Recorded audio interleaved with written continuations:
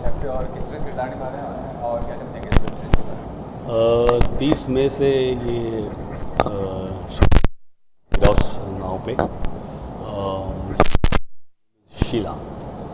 और मैंने नेमी शिला एक शिला की स्ट्रगल की कहानी है कि कैसे एक छोटे घर में मतलब एक, जो काम वाली बाई है शिला, बड़े बड़े घरों में जाके खाना बनाना, झाड़ू पोछा करना और उसका एक हिडन टैलेंट है जिसका किसी को पता चलता है। और उसके बाद उस छोटे से चौल में एक जो अपने हस्बैंड और बेटे के साथ रहती है, क्या होता है? उसका स्ट्रगल कैसे रहता है? उसका हस्बैंड क्या रिएक्ट करता है? सोसाइटी क्या रिएक्ट करती है? और काफ़ी इंटरेस्टिंग जर्नी है शीला की।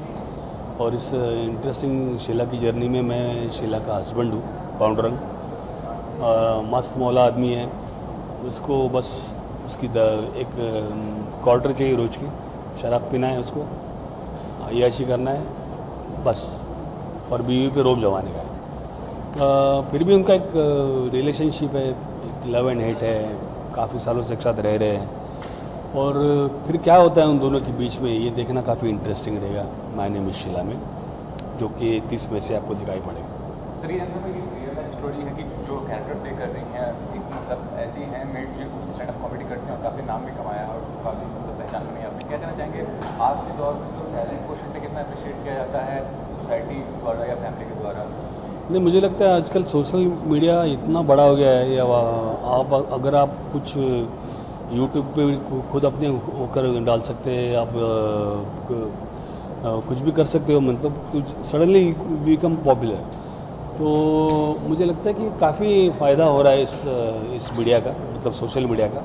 अच्छा भी है, बुरा भी लेकिन हमको देखना चाहिए कि कैसे शीला को इस सोशल मीडिया का फ़ायदा होता है। और काफ़ी टैलेंटेड लोग हैं अपने देश में, भारत देश में, काफ़ी टैलेंट है। और वो टैलेंट को अगर सराहना चाहिए तो मुझे लगता है कि ये ये का, ये काम आगे बढ़ना बढ़ना चाहिए, आगे होना चाहिए श्री अंदर में वेब सीरीज़ कॉन्सेप्ट जो है इसमें अ, अभी भी सेंसरशिप नहीं है मतलब आर्टिस्ट का जो आप देख रहे हैं जैसे कश्यप के गेम्स आए तो डायलॉग डिलीवरी जो होती है जो सीन्स होते हैं वो कभी कभी Violent होती है, गाली गलौज ज़्यादा होती है। क्रॉस कर जाते हैं और मोबाइल देखिए स्मार्टफ़ोन आजकल बच्चों के हाथ में तो वो बताइए कि वो लिमिटेशन कितना ज़रूरी है? अभी बच्चों के हाथ में मोबाइल देना है नहीं देना है बच्चों को क्या देखना है क्या नहीं देखना है ये बच्चों को समझ में नहीं आता पेरेंट्स को समझ में आता है। और अगर आपको कुछ चीज़ें बच्चों को अलाउ नहीं करनी है तो आपके हाथ में है क्योंकि हम लोग तो पढ़े लिखे हैं ना। बच्चों को क्या देखना चाहिए और क्या नहीं देखना चाहिए, ये हमको डिसाइड करना चाहिए। हम बच्चे नहीं डिसाइड कर सकते। और बहुत सारी फैसिलिटीज़ है। We can lock that app हम लोग उनको बोल सकते हैं। और मुझे लगता है कि बच्चे आजकल के, अगर बहुत ही शरारती है तो नहीं नहीं सुनेंगे। पर मोस्टली मुझे लगता है कि बच्चे अपने माँ बाप का सुनते हैं। और और क्योंकि मुझे लगता है कि सेंसरशिप अगर नहीं है तो उसका फ़ायदा भी है गैर फ़ायदा भी है। और जो आपको दिखाना चाहते हैं वो आप दिखाओ लोग डिसाइड करेंगे क्या देखना है क्या नहीं देखना है। मतलब अभी एक एक फ़िल्म आ रही है मराठी है ऑनलाइन करके। हिंदी फ़िल्म है दो फ़िल्म हिंदी फ़िल्म है उनका भी काम चल रहा है। और और एक वेब सीरीज़ है। तो ऐसा काम चल रहा है। आपको देखना पड़ेगा आनंद ऐसे ले टेढ़ी या या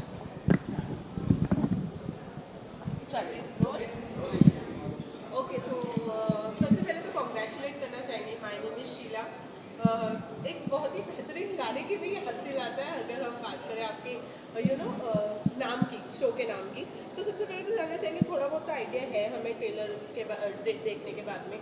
आप लोग अपने किरदार पर थोड़ा लाइट डालना चाहेंगे? Okay so my name is Sheila जो टाइटल है आपने कहा जैसे कि याद दिलाती है एक गाने की। So there is my name is Sheila ये टाइटल में ही आपको समझ में आता है कॉन्फिडेंस दैट जो प्राइड से बताना चाह रही है कि मेरा नाम शीला है और मैं ये ये हूँ, जिसके अंदर कोई इनिबिशंस नहीं है, जिसके अंदर बहुत ही कॉन्फिडेंस है और सबसे अच्छा जो पॉइंट है उसके अंदर दैट इज़ सच्चाई। जब आप सच्चे होते हो ना तो आप किसी के चाचा से और किसी के नानी से डर नहीं सकते। तो वैसी है वो और जिसकी राह ही सच्चाई की है ना, उसको क्या है, मैं कहाँ पे क्या चीज़ बेलूँ उसका कुछ नहीं है। तो ये जो एक कॉन्फिडेंस है, ये जो जीने का कन्विक्शन है, ये हर किसी को एक इंसान को लगेगा कि यार ये कॉन्फिडेंस और ये कन्विक्शन चाहिए यार लाइफ में। अगर ये आ जाएँगे तो हम कहाँ से कहाँ पहुँच जाएँगे। So that is the beautiful part and every human being want to be you know जिसके लाइफ uh, से ये सारी चीज़ें जो कॉम्प्लेक्सेस और ये सारा कुछ निकल जाए ताकि वो एक फ्री लाइफ जी सके। So Sheila is a free bird उसको जो भी सामने आ जाता है कि अभी ये करना है ओके ये करना है तो अभी ये कर लेते हैं। सो ये बहुत ही ऐसे ज़िंदगी देखोगे तो एक ऑप्टिमिस्टिक लाइफ है। हम बोलते हैं कि ऐसा थोड़ी रियल ज़िंदगी में होता है। बट येस अगर आपके अंदर कन्विक्शन है और आपके अंदर वो अगर कॉन्फिडेंस है और वो जीने की तमन्ना है वो है अगर तो आप ऐसी ज़िंदगी जी लेते ओके आप यू नो बहुत ही गुस्से वाले लग रहे हैं जी। trailer में। तो uh, क्यों ऐसा क्यों है वो ऐसा इसलिए है क्योंकि अ, क्योंकि जब किसी पॉजिटिव कैरेक्टर की असलियत दिखानी होती है तो एक नेगेटिव बंदा चाहिए होता है जो शायद उन्हें परेशान करे सो दैट उन्हें थोड़ी मेहनत करनी पड़े और अ, हम सबको पता चल सके कि हमारी लाइफ में जैसे ऑब्स्टिकल्स हैं वैसे ही हर इंसान की लाइफ में होती हैं बट हमें उसे चीला की तरह उनसे पार करना है। सो दिस बॉय इज़ बहुत ही सड़ू बहुत ही एटीट्यूड वाला एक इवेंट और कंपनी का ओनर है। यंग स्टाइलिश है लेकिन जो पहली इंटरेक्शन शीला के साथ होती है लिफ्ट में जो कि आपने प्रोमो में भी देखा है कि मैं उसको दबा रहा हूँ बटन और ये कहती हैं वोट नहीं डाला क्या? मतलब तो वहीं पे नाराज़गी शायद शुरू हो जाती है। तो ये उन लोगों को, ये कैरेक्टर उन लोगों को डिनोट करता है जो लोगों को आगे नहीं बढ़ना देना चाहते क्योंकि उनके लिए टैलेंट से ज़्यादा ज़रूरी होता है कि आप कैसे दिखते हैं या कैसे बोलते हैं एटसेट्रा एटसेट्रा सो बट खूबसूरती ये है कि इन दोनों की जो इंटरेक्शन है वो बहुत ही मज़ेदार है और एकदम चूहा और बिल्ली वाली इंटरेक्शन है जिसको देख के आप सबको बहुत मज़ा आएगा। एंड ऑल्सो कैसे ये हार्ट चेंज होता है from to hate her to actually love her so which is the beautiful part जिसके लिए आपको ये वेब सीरीज़ देखनी पड़ेगी my name is Sheela okay so ma'am अपने హలో మిమ్మల్నే ఫిలిం సెలబ్రిటీస్ రియల్ స్టోరీస్ ఏంటో తెలుసుకోవాలనుందా లేటెస్ట్ గా రిలీజ్ అయ్యే మూవీ రివ్యూస్ నేను చెప్తే వినాలనుందా ఇంకెందుకు ఆలస్యం యోయో టీవీని సబ్స్క్రైబ్ చేసుకోండి అలాగే మర్చిపోకుండా యోయో టీవీ యాప్ ని కూడా డౌన్లోడ్ చేసుకోండి